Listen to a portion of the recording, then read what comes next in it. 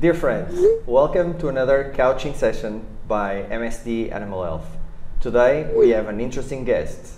He is a managing director for Swineworks, the specialized recruiting agency working in the United States. Welcome, Dr. Victor Ochoa. Thank you, Alex. Happy to be here. Thank you. Thank you for your time. So, first of all, is you know, can you tell me a little bit about yourself?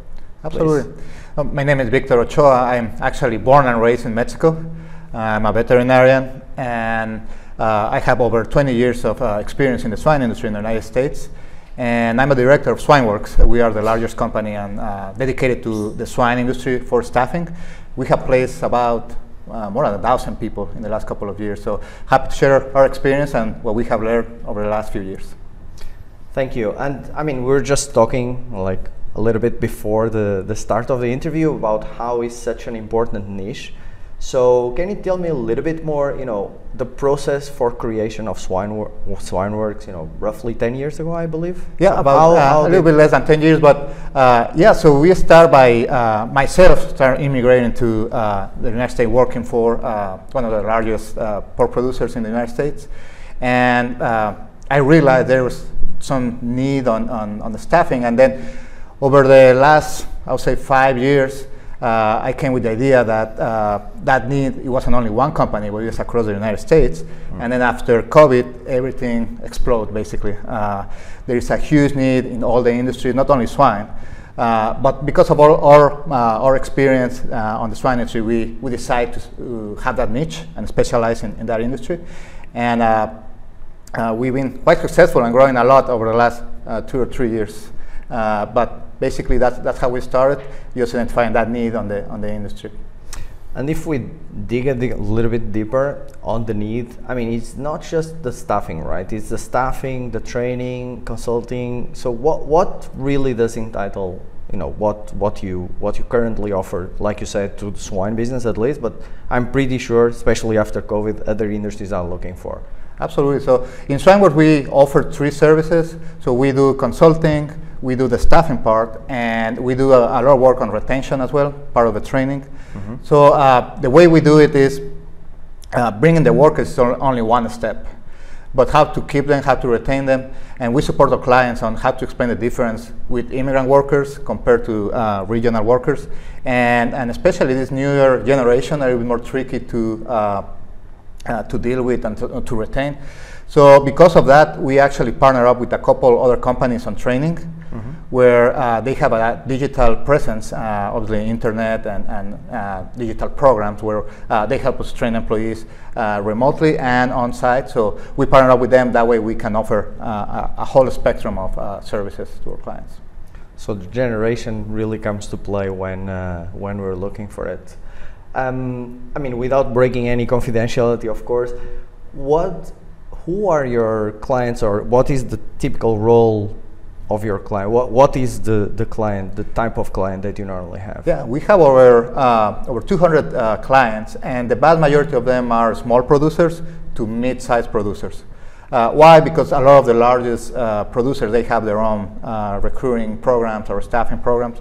Uh, but the ones that are struggling the most are the small producers and the mid-sized producers. So we are targeting those, those markets because they normally don't even have a, an HR department or somebody who can process their visas or, or have the experience to deal with all these labor issues. So uh, the vast majority of them are, are like I said, small producers, but uh, uh, lately we have started receiving a lot of requests for other industries, not just swine, but we start having a lot of requests for poultry, for uh, livestock, for dairy. So we are expanding our, our business, but our main uh, niche is still uh, the swine industry.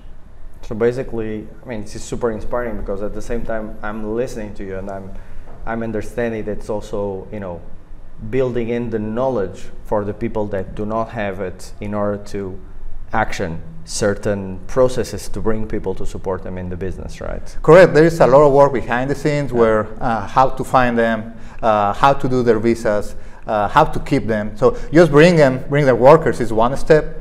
Uh, and a lot of the producers don't realize how difficult it is on the other side of, uh, of the business, and or they realize when they cannot bring their own, own workers. So uh, we are uh, happy to help them, and, and uh, we've been quite successful doing that. Excellent. So, I mean, we we invited you to come to our high quality port in in uh, in Puerto Vallarta in Mexico to talk about the situation, you know, the past, the present, and the future of the labor market in swine. As you know, you're an expert, obviously, with with with what you do. Um, can you briefly summarize how this market is currently operating, you know, taking into consideration what I talk about, you know, impact of COVID, technification, etc. How is it? How is Absolutely. it working right now? So uh, the United States is struggling right now. It's uh, struggling uh, very hard with labor, not just the swine industry, but all the industries.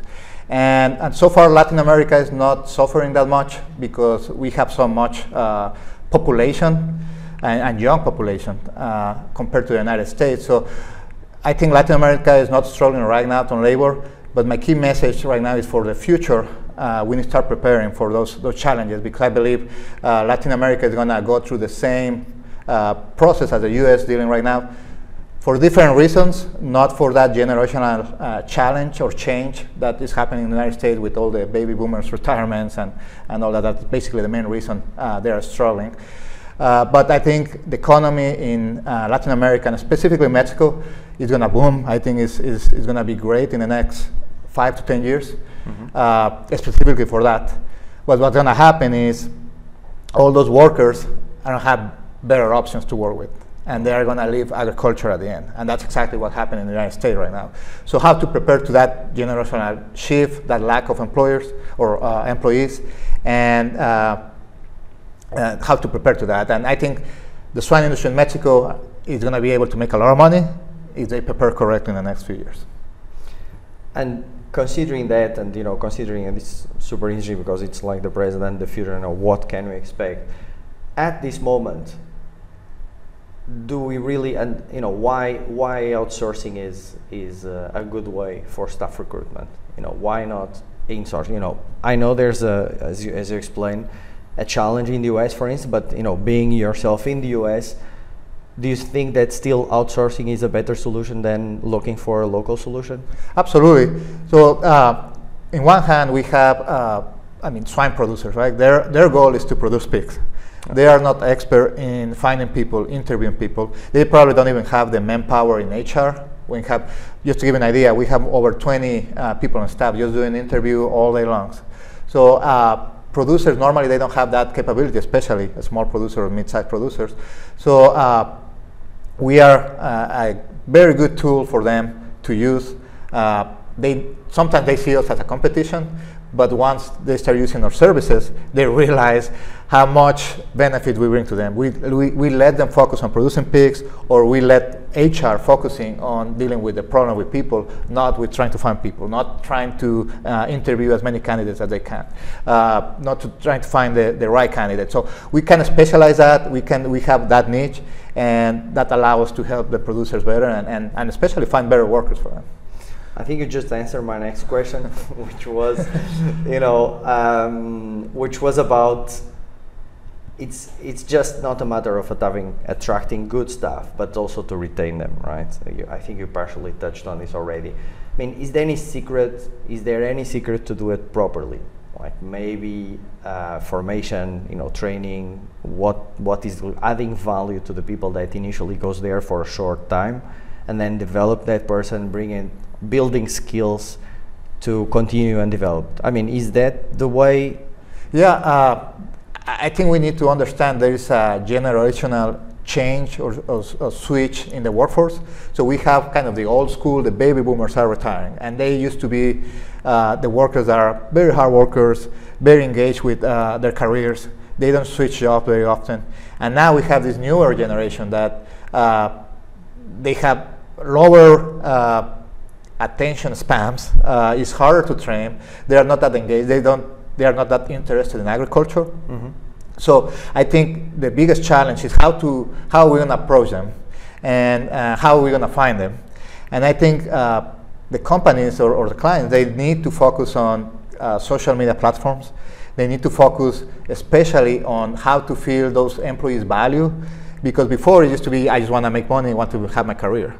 Now with this generation, they want to have a sense of importance, a, a sense of community which is going to be a challenge for producers when they're not used to that. So uh, I think it's important to address those needs, and that way they can lower uh, their turnover. It's, it's, not always about the money, uh, but how you make them feel while they're doing that, that job. So in a way, farmers and donors they need to start also changing and you know changing a little bit mindset and and executing or operating in this way if they want to be successful. Uh, absolutely absolutely. And I, I, think that's the biggest difference compared to other industries. You know we have the tech industry where it's entrepreneurs. So we have the owners of companies probably the same age as the workers. Right now we have in the, in the in the agriculture industry or swine industry we have the owners where they are probably baby boomers. Yeah. they are the older generations and we have a new generation that you're trying to attack, attract because you don't have uh, those workers. So how to make that connection? So it's very important that you just change that uh, mindset on, on, on the producer that the, the old workers are not coming back. You know, mm-hmm. the, the old school, that, that worker stay in the company for 20 years is not happening again. So how are we going to adjust to that mindset? So this, this also goes towards, you know, the happiness of the employee and the you know, especially new generations, I agree with this. I think we all want a sense of ownership and responsibility and delivering, but I think that's very, very clear. Um, when you're kind of sourcing out people, and then of course I imagine you go and visit the farms and see how they're going, etc. I mean, do you do you see that a happy farm employee is a clear signal that a farm will be functionally, you know, optimally or in a better than one that is not.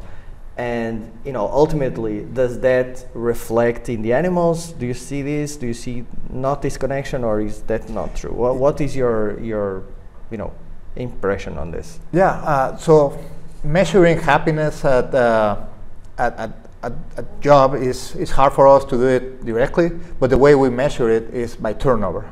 So how many, how many of our employees are leaving their, their, their farms? One reason could be that we did a bad job in selecting the candidate. The second reason could be that the producer is not creating an environment where they, uh, they are able to retain or fulfill those needs of the candidate. Uh, so, so that's how we, we, we measure uh, uh happiness at the job. Now, all the problem that we've seen is we talk about animal welfare. A lot of those videos when we see uh, employees abusing the animals, you take a look at the numbers, and I guarantee you they have high turnover as well. Why? Because probably they are not investing the time of training these employees, on showing the values that they have at the company. Uh, so, so turnover is very important for us, and and obviously we, what we want is to reduce that number. And one of those keys is training and invest time on those employees, for sure. So then the obvious the obvious conclusion i mean at least i'm going to ask for your opinion on this but is definitely that um, happy employees will probably trigger happy animals and it will you know make a much better workplace and things will work better. Would you say would you agree with that? Yeah i agree. Uh, uh, we have to show them why it's important uh, or why animal welfare is important in the swine industry is not just for uh, the looks, which is important because we are all exposed to social media and, and cameras and everything, but how important is to production as well. So I, I think both are hand to hand. Uh, we, I cannot see a farm that is high producing uh, uh that is not taking care of animal welfare or is abusing their animals. And I haven't seen a high production company that is not taking care of their, comp- of their employees either. So I think they go hand by hand and it's, it's, just not one way to be successful and not just producing as many pigs as you can. You have to take care of the employee and you have to take care of the animals as well, for sure. Um, I mean, you're obviously a connoisseur of both South and, and, North America. And this was actually the question we were debating a little bit in, uh, in the beginning. I mean, do you think do you think the model, the business model that you have developed, that is supplying one of the gaps in the industry, um, it's transferable to other markets or it's just like the American way of doing it? I mean, structure, organized, with the right resources. Yeah, I think uh, the way North America is doing it right now is based on need. And uh, I don't think that's the plan. They, they want to do it, but if you don't have workers, you have to find them somewhere. And the only way to find them is to bring them from other places, and that's where immigration comes uh, handy. Uh, if we start seeing this problem in Mexico or Latin America where it's hard to find workers, I think that uh, that tool is going to be available too. Now, everything's about politics right, right now in the U.S. and it could be in Mexico as well. Uh, when we start seeing that if we bring immigrant workers, they're going to threat or, or, or, lifestyle, they're going to threat or, or job openings. So it, it's a challenge. It's still in the U.S. and it's become a, a challenge in, in, Mexico as well. But uh, I don't think Latin America is on that point yet. Mm-hmm. Uh, it's going to take 5, 10, 20 years to get to that point. But uh, same thing, those, even if it's coming immigrant workers from other places, that generational change is going to be everywhere. So it's ap- applicable to other countries as well, to other markets. So to answer your question, yes, we have to we have to use that model uh, and replicate it in other other industries. Um, now going a little bit off, off script from what we are talking about, I mean, we are also seeing like huge steps towards technification of farming, right? So more and more processes and if I just go away from swine and I think about ruminants like the milk robots and everything, you know, this was unthinkable 50 years or mm-hmm. you know more ago. Um, how do you see this this um, technification of the farms impacting the future of swine? You know, and can we combine the specialized and the new labor that we need and we were bringing into being more savvy technically and you know making the most of new available technologies. Absolutely. So I think technology is the second most important component uh, with this challenge. One, if you cannot find the workers, what can I do? The second will be using technology. In one hand, it's going to be more attractive for this new generation that we, we are talking about. So uh, is if you see, if I see a picture when I have to power wash or I see a, a, a robot that is power washing itself, I'm going to work for that company, not for the one that is power washing. Yeah. That on one hand. In the other, we have to become more efficient because we are going to have to use less workers. Yeah. And every time we talk about technology, everybody's thinking, oh, robots, that's the only way. I know we can talk about genetics on pigs, we can talk about uh, infrastructure on the farm, automatic feeders. We can talk about uh, drugs. We are here with Merck Sharp and Dohme, and, and you know, uh, vaccine instead of giving five shots, we can give one shot. Yeah. So how to how to become more efficient because we are going to have to use less workers. Yeah. Uh, and just to give you an idea on that on, on technologies in, in the United States right now, uh, uh five five thousand uh, sow unit is run with 12 people, 13 people. In Mexico right now, it's about 28 to 30. So, uh, and, and not because they want to, it's just because the challenge they have on, on labor. So, uh, the way to approach that is definitely with technology, and there's more than one way to do it, for sure. Okay. Um, so, I think we're almost at, at the end, but I was thinking, you know, can you give us some tips, you know, to our listeners um, in how to get the newer generations involved uh, and attract to this business to obviously allow the, the industry to have some kind of generation relief. We talked a couple of points, but if you can, you know, summarize it. What, Absolutely. What do you think? So I'll give you probably three advice. Uh, number one, just make your presence in social media. You'll be surprised still on this day how many of my clients have websites or a Facebook page that is, is basically free and it takes five minutes to set up. I would say 90% of them do not have anything. Uh, so how are you going to find, or how these employees are going to find you if they cannot see you? They spend all the time on the cell phone and you are not there. How are they going to find you? So number one, just just create your social media presence. Uh, number two, review your your uh, benefit package. This generation have different needs than, than older generation. So uh, we talk about uh, flexible work. We talk about remote working we talk about vacation. This, this new generation prefer more life balance than previous generations. Mm-hmm. So take a look at, at, your benefit package. Maybe salary, you can reduce it, and then you can increase vacation, for example. Uh, so, so take a look at that, and then take care of your current employees as well. Uh, we, a lot of the time, we made a mistake of paying more to the newer uh, employees that are coming because we are struggling to find them and we forget about the current employees that we have. So uh, take a look on them. And number three, we talk about technology. That's uh, very important. So using uh, new vaccines, using uh, infrastructure, uh, using uh, all the technology available to you, so you can use less labor on your on your facilities. I think is going to be be the key. All right. I mean, yeah, because inevitably we'll take the load off, you know, the the work. The workforce.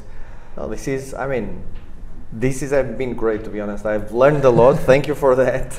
You know, thank you for, for sharing your kindness and, and wisdom.